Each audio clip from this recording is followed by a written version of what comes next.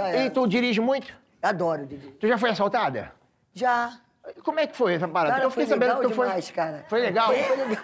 Como assim? Olha Como só, assim foi cara, legal? Os caras, assim, parei o carro, tava num lugar assim. Tudo gente boa. Aí os caras, aí sai, não sei quem, que não, como pô, não sei quem. eles abortaram Aí- você? É, não, me tiraram do carro, tiraram do carro e me levaram para um terreno baldio, mais fora. assim. Eu falei, pô, pô, cara, aí, brother. Pô, tô, tô com o carro aqui, mas tem um show, tem um negócio, para não sei o quê. Ele falou, pô, cara, agora a gente não pode mais voltar, pô, é tudo, é não sei o quê. Falei, pô, mas me deixa num lugar aí pra eu poder, pá, poder sair daqui, não sei o quê. Aí, cara, no dia seguinte, os caras devolveram o meu carro, deram até geral aí no meu carro.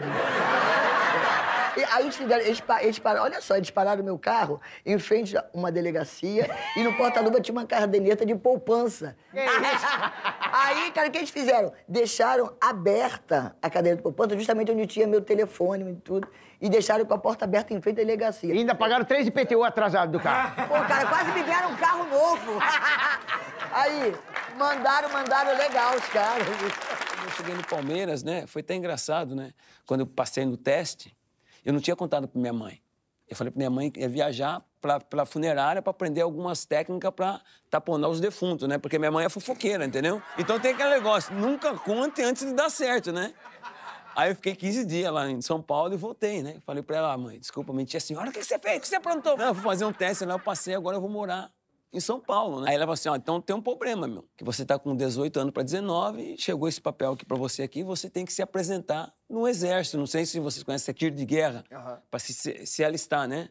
Levei lá o formulário pro meu amigo preencher, né? Que eu não sabia escrever direito. O cara preencheu, amanhã você passa aqui de manhãzinha e a gente vai junto, né? Só que quando a gente chegou no. Chegou o tenente, né? Falou: ó, o general vai vir aqui, o cara é bravo, tem que sempre, sim senhor, sargento, sim senhor. Eu falei: beleza. Só que eu falei: caramba, o que, que eu vou fazer agora, meu? Porque eu tenho que sair livre pra mim, pra mim ser jogador de futebol. Aí chegou o general: vocês têm o desejo de servir o exército? Todo mundo: sim senhor, sargento. Então a gente vai separar agora por ordem alfabética. Meu nome é Alexandre. Então, Antônio, Alexandre, tudo de um lado, né? Só que ele chamou Alexandre primeiro. Eu falei, cara, que agora? Que eu ia copiar os caras, né? Aí olhou pra mim e falou assim: Você tem o desejo de servir o exército brasileiro? Falei, sim, senhor, meu sonho é defender o Brasil na guerra mundial. Veio isso aí na minha cabeça. É, aí, aí ele falou assim: então, beleza, então. Então você vai ter que jurar a bandeira. Você marcha e jura a bandeira. Só que eu não sabia o que, que era. Só que a bandeira tava ali. Aí eu peguei e fui. Pá, pá, pá, joelhei, bandeira, eu quero te jurar que eu quero te defender pro resto da minha vida. Aí, aí o sargento falou: O que você tá fazendo, meu? Tô jurando a bandeira, você não mandou jurar a bandeira? Não é dessa forma, não, meu. Aí me levaram pra uma salinha, né? Aí a salinha da vista, pra ver se enxerga. Falei: Caraca, é aqui. É aqui. A mulher apontou no F e eu, P. Ela botou no H, né? Eu A. Aí falou: Pô, você não enxerga, meu. Vou ter que liberar, vou ter que dispensar você. Falei: Beleza, obrigado, meu. Aí, beleza, peguei todos os documentos, aí fui pro Palmeiras, né? Quando cheguei no Palmeiras, o doutor Fernando Leopoldino falou assim pra mim assim, ó, a gente vai ter que fazer um teste em você agora, no seu coração, ver se você tem verme, né? Falei, pô... Eu, eu não sei, o que, falei, o que que é verme? A verme é que dá um negócio na banha. Eu falei, é, verme eu nunca tive, mas não briga eu tinha, que mamãe puxava, né? Mamãe puxava. É, puxava, puxava, bicho. É. Mas Ele falou assim, então tá bom, faz o seguinte, Marão, eu vou te dar dois plásticos aqui. Aqui você vai fazer o xixi, posso falar, né? Pode. Aqui você vai fazer o xixi. Xixi pode. E aqui você vai fazer o cocô, né? Cocô não pode. Aí eu fa... Não pode? Ah, isso, isso. Aí eu falei assim, pô, fazer o xixi é só mi- mirar o negrão no, no copo e fazer. Mas como que eu vou cagar no copo, né? Aí eu peguei o jornal, coloquei no chão, caguei no jornal.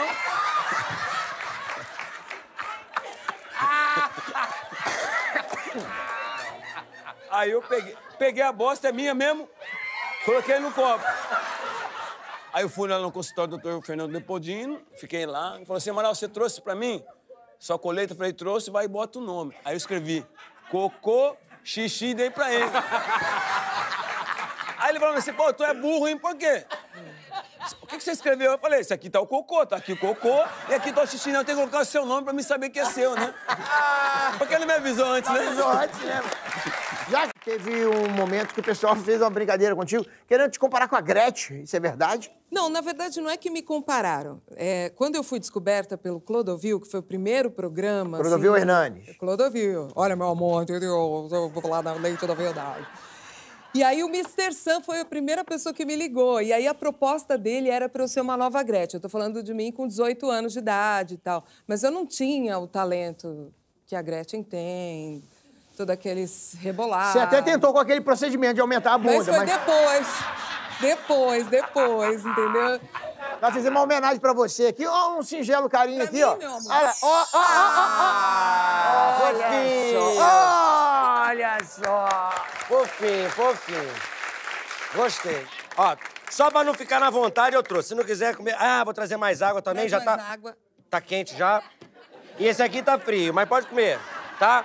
É, uma vez eu, eu vi uma notícia que você teve um, um trauma, que, um problema com a voz. Na verdade, é que eu tive uma traqueite, é como se a gente tivesse ficado gripado, sabe? Uma, essas, essas coisas aí. Fiz show com som ruim, aí fiz outro show e fiz outro show. Aí eu tive uma hemorragia da prega da corda vocal. Da onde? Prega da corda vocal. Eu quase derramei, eu quase derramei. Cuidado aqui com o microfone. Guarda lá pra mim. Tá bom, vou levar, vou levar. Mas continua Cada negócio. um estica a prega que tem, né? Ah, Você cada foi um com na... a sua prega. De onde? De onde, de onde que você... Não, na verdade- Meu nome completo, Não, meu nome completo é Darcimeire Coelho Pinto. o Pinto do pinto meu- da, da, da tua mãe ou do teu pai? Não, é um negócio- foi uma confusão danada lá em casa. Meu pai queria Darcy, minha mãe queria Rosimeire. Aí ninguém se entendeu, aí ficou Darcimeire. Uma derrota, Certo, né? tá certo, usa os dois, agrada os dois lados, né? Ah, que isso, cara? Botei na camisinha. Não, não, não, nossa senhora. Aí. Eu gosto de você, eu gosto de gente animada. Isso é da tua natureza mesmo? É, é o meu nome, né? Dadá, né? Isso não é um nome, isso é um incentivo. Eu sou animada porque, né, a gente tem... Seu muito Guaraná, esse aqui é... Obrigada. É Guaraná, sim.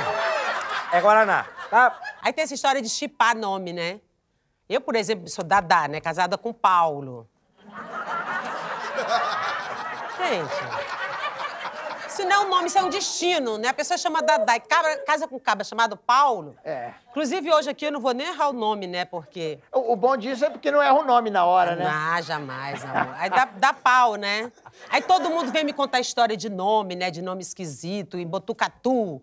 Em Botucatu teve uma família que botaram o nome do menino em homenagem àquele caba lá do filme Esqueceram de Mim, Macaulay Culkin. Rapaz, isso virou uma confusão. Pior que a família agora, ninguém sabe pronunciar o nome. E o menino tá sofrendo bullying na escola, porque todo mundo manda ele tomar no cooking. Todo mundo vem me contar história de nome estranho. É o outro que botou. Teve um corintiano que botou o nome do menino de Corintienzo. Eu Corinthians. digo, cara, deixa só Corinthians, que pelo menos tem torcida.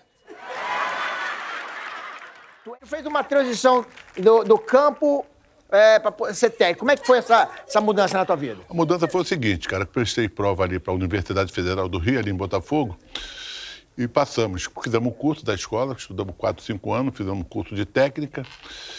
E aí eu fui para o Rio Grande do Norte, meu irmão. Aí um dia lá saiu uma, uma delegação que vinha no, no estudantil, que foi para Brasília, e eu levei o time de lá, cara. Pô, chega lá, eu fui terceiro colocado. Show, hein? Aí um belo dia, um amigo meu me chamou para ir para os Emirados Árabes. Meu irmão, se eu já não falava inglês bem, imagine árabe. Eu chegava lá de manhã, quatro horas da manhã. Caramba, é o seguinte, é tudo o contrário. A hora que é para fazer sol, escurece. A hora que é para escurecer, faz sol. Não, não, lá é fogo, cara. Quando se fala em Arábia, tu fala assim, o maior calor. Calor, caramba, lá faz um frio desgraçado também. É tudo o contrário. Aí, rapaz, fui campeão. Fui campeão, campeão, campeão, campeão, campeão. Eles me aumentavam 100 dólares, 200 dólares. Eu não quero saber, tá duro pra caramba. Duro que nem... duro pra cacete.